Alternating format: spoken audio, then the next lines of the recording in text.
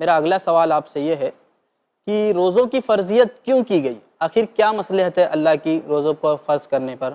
ابھی قرآن کریم کی جو آیت میں نے آپ کے سامنے تلاوت کی تھی، ارشاد ربانی ہے، یا ایہا الذین آمنوا کتب علیکم السیام کما کتب علی الذین من قبلکم لعلکم تتقون۔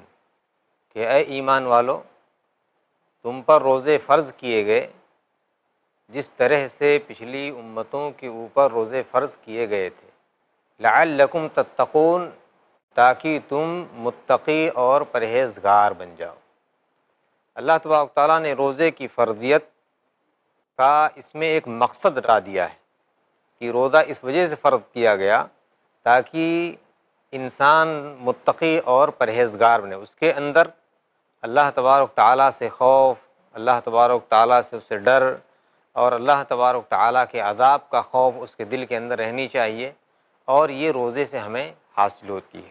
ایسے ہی باری تعالیٰ نے قرآن کریم کی ایک دوسری آیت کے اندر ارشاد فرمایا، شہر و رمضان الدی ان ضلع فی القرآن ہد الناسی و بینات من الہدا والفرقان۔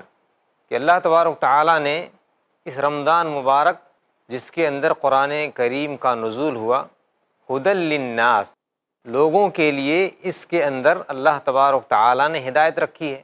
اس قرآن مجید کے اندر ابینات من الہدا والفرقان اور تمام چیزوں کی اللہ تبارک تعالیٰ نے اس میں واضح نشانیاں رکھ دی ہیں۔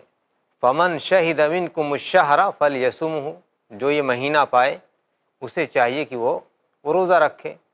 آگے چل کر کے اللہ تبارک تعالیٰ نے اس آیت کے آخری ٹکڑے میں یہ بات کہہ دی ہے وَلَعَلَّكُمْ تَشْكُرُونَ تاکہ تم اللہ کے شکر گزار بندے بن جاؤ۔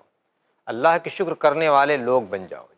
جی۔ یعنی گویا کہ ایک طرف اتقا تقوا پرہیزگاری اس روزے کا مقصد ہے اور دوسرا مقصد یہ ہے کہ اللہ تبارک تعالیٰ کے انعام اور اکرامات کا بندہ شکر ادا کرے۔ اللہ تبارک تعالیٰ نے جو اس کے اوپر احسانات کیے ہیں ان تمام چیزوں کو یاد کرے۔ یہ اس روزے کے خاص مقاصد میں سے اللہ تبارک تعالیٰ نے یہ مقصد رکھا ہے۔